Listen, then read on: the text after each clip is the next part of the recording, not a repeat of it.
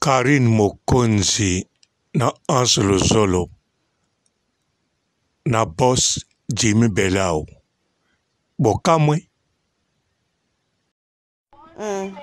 Voilà la famille, nous sommes le 29 juillet 2024 à la gare du Midi.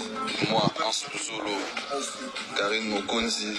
Gauthier Lisasi en retard Jimmy Belao la paix est plus fort que la guerre nayebi ke heure oyo bato ebele boko Mbote ba papa, ba mama, ba ndeko. Mbote ba rando na ba randonnette. Mbote bato oyo balingaka rando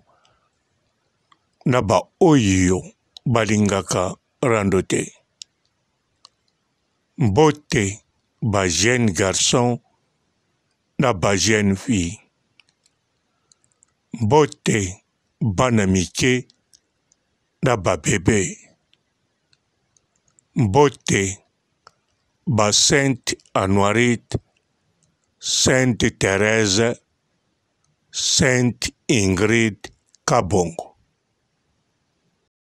Voilà la famille nous sommes le 29 juillet 2024 à la gare du midi moi Hans Luzolo Carine Mokonzi Gauthier Lissassi Henrietta Jimmy Belao la paix est plus fort que la guerre nayebi ke ero oyo bato ebele bo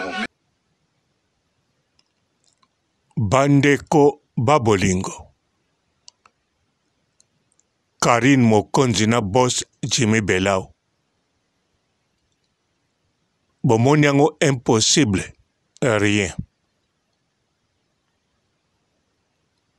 Bomonaki randu alaki makasi rien. Bandeko bondimaki te ke la baronne na boss Jimmy Belau bakoko vanda liso ensemble basolola wana bokosanaki la baronne akoko vanda akoko solola na motu tu na motu tu oyo azalani na rando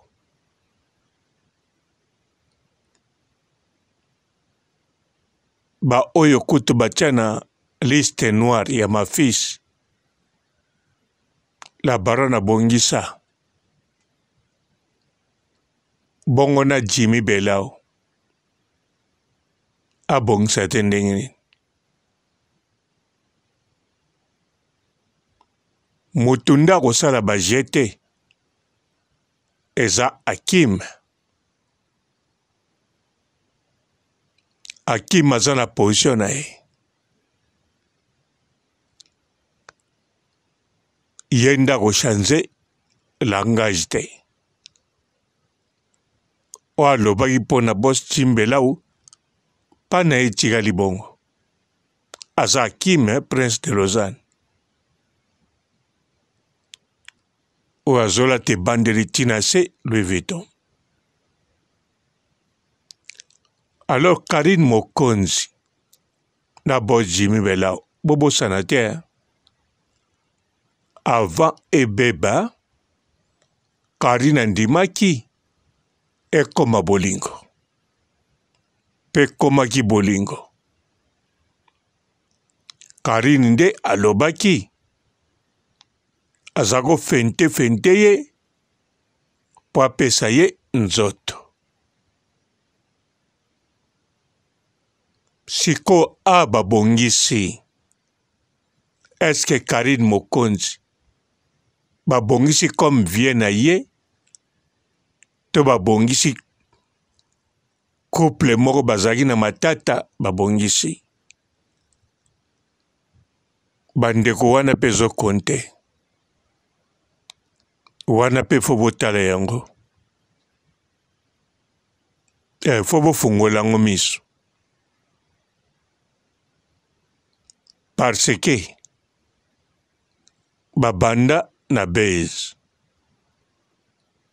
bos jimbela walinga la barona koma ya ye ndenge la barona alobaki suka nango andimaki base mais alingaki kaka base akoki te alingi kaka bolingo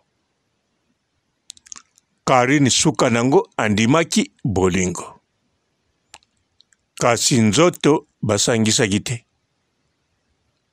tento mpe ameli te moyen pe Carine abenga ye bebe eza te po ameli teton te sikoyo basali pe po pa ya boss Jimmy Belau aza na meme idee na mutu hein famela teton pe boss Jimmy Belau ayebi la baronne abanda kobinisa ye te ayebi ke la baronne makambo azalaki koloba ezalaki verite batete ezobimisa mai atiki mikolo naza boye atiki sikoyo awawa bazongani bazongani na nini na kipire vie to na mwasi na mobali bandeko eza kaka motuna mpo la baronne mpe ti sikoyo aza na mobali te la baronne ti sikoyo mpe atuka akosukola pine te donk akosangisa nzoto te loba soki anse luzolo ayedaka ye de temps en temps mais anse luzolo pe na ndimi te aidaka karine na bakote kuna bon nayebi te entre parenthèse ka mais nde karine mokonzi aza mpenza na mobali te nanu mpe asangisi nzoto te alors Boss azongi. Azongi. Azongi kaka ndenge azalaki, ndenge akendaki. Complet. Eloko ezozanga te. makambo te eza bien mbongo mpe yali Bandeko, nga papa robo na ya d'accord hein? parce que eza réseaux sociaux. Nga na réseaux sociaux nalinga makambo nyonso wana barando kobongisa parce que nga nalinga ba vibration wana nalingaka ba sentiment wana rando epesaka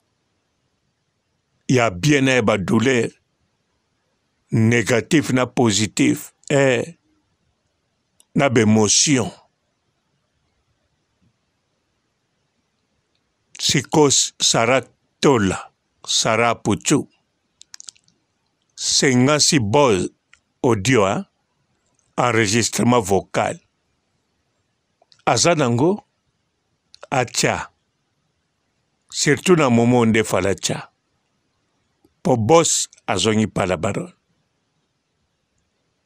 une fois encore bango tu oyo bayaki baloba mpo na bos bos alakisi bango la baronne moto yali très important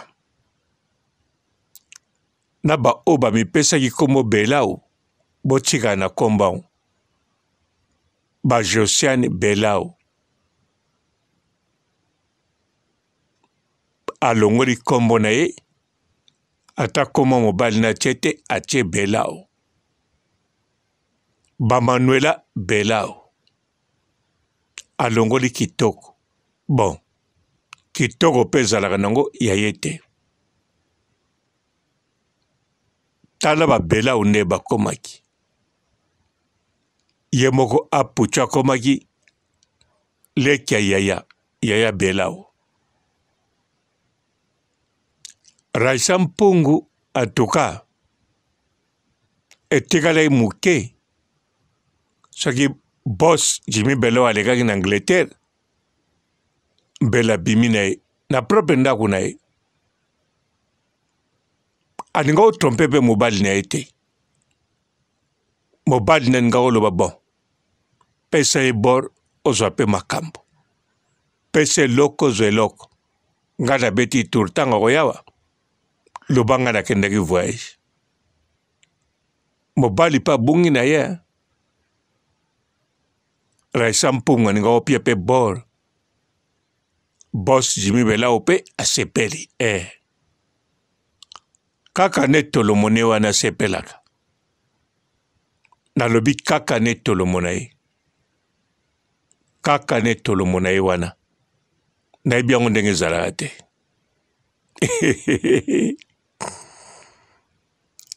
en tout cas osepela azotia ezotinda te kasepelisa raisa mpungwe ye nde motu fo asepela raisa mpungu akosepela kaka na mbongo na biye siko awa azongi pa la baronne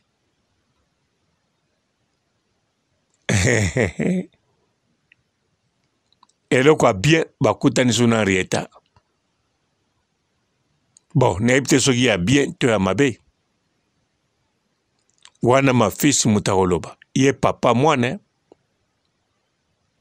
mpo henrieta mama charlotte atemoignaki soko asakana alobaka papa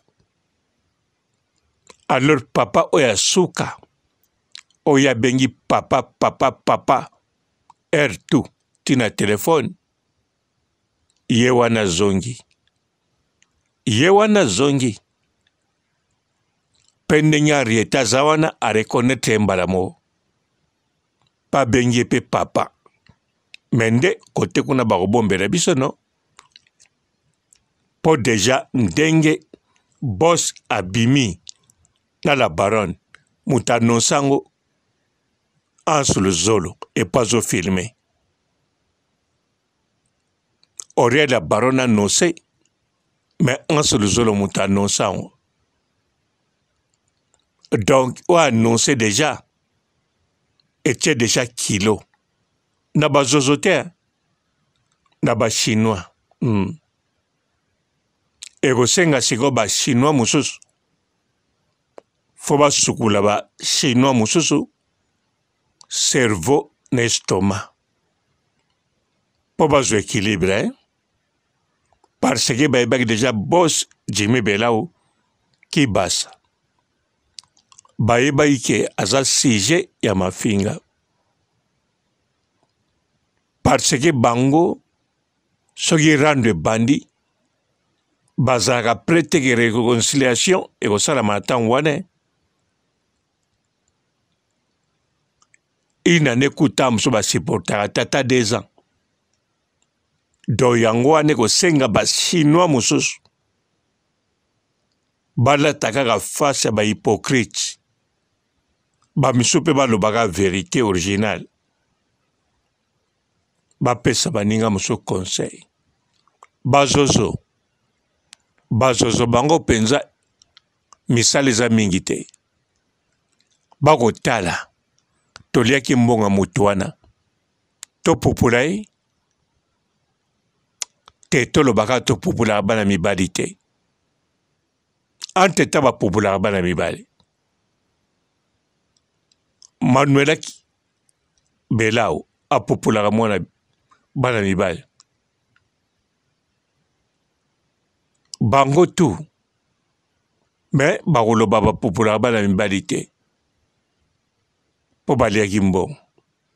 soki okebi te bakopupula mm. donc mpo na bazozo likambo agrave eza te au contraire bango bamoni neti bazwi matière ya sika baprepare likambo nini mpo bango tu baa na mposa kotake karine problème nde bamba minduki bakobeta ya kala ezokoma kutu te mosu kutu eyobima te ekangami na kati ya monduki do bakoluka biloko ya sika lokola bayebi bisika kozwa yango te do moto akokopia bango kaka eza la barone mpo la barone ye moko moto apiaka matière sikoyo la barone apesi matière na Gare du Midi, na Hans Luzolo, na Boss Jimmy Belau, na ndeko mosusu ya mobali wana, mpe na Henrietta. Oyo mama Charlotte alobaki ntango nyonso alobaka papa papa. Omona akosakana papa, akomela ti papa. Alors papa oyo Henrietta aloba mingi banda botama eyaka jimi bela awa nde internet ebakisami elengi awi ah nga papa robo mpo nina koloba malembe boye parce que epa na ngai ya logique surtout nga muna bandaki nga nde muna bandaki koloba mabe ya bos timbela karine te nene ya pe te bachinois pe te moto abanda koloba mabe eyali ngai mpo ngai nabandaka deja makambo avant nyonso te kaka moke mpo la baronne babebana na olga kabelo ngamu nabandaki mpo babebana na bochimbela gamu nabandaki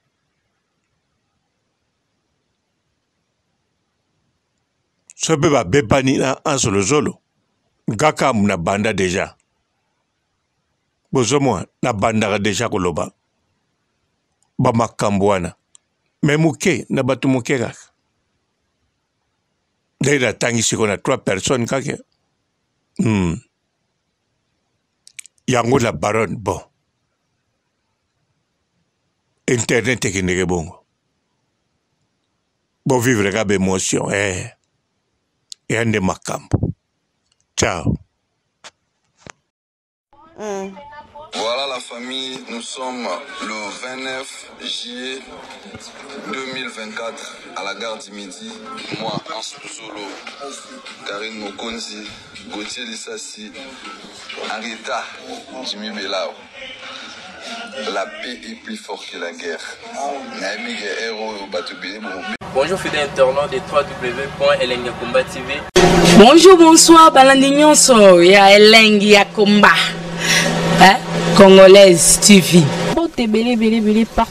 tout dans le monde partout où vous êtes partout bozolanda elengi ya combat tv vraiment bonjour bonsoir na babone bafai nyonso ya elengi ya combat congolais tv bonjour à mobose wana napesa yango vraiment ya mopanzi bonjour à mobose jp kiama je sali mon boss balobi boss de boss babi jp kiama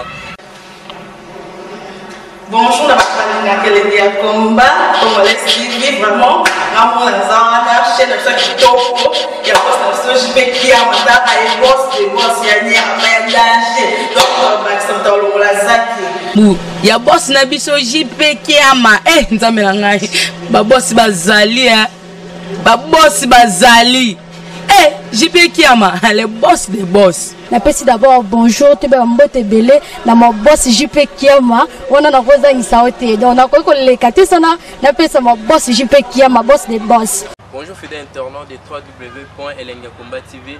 Bonjour, bonsoir, balandi nyonso ya elengi ya combat. hein?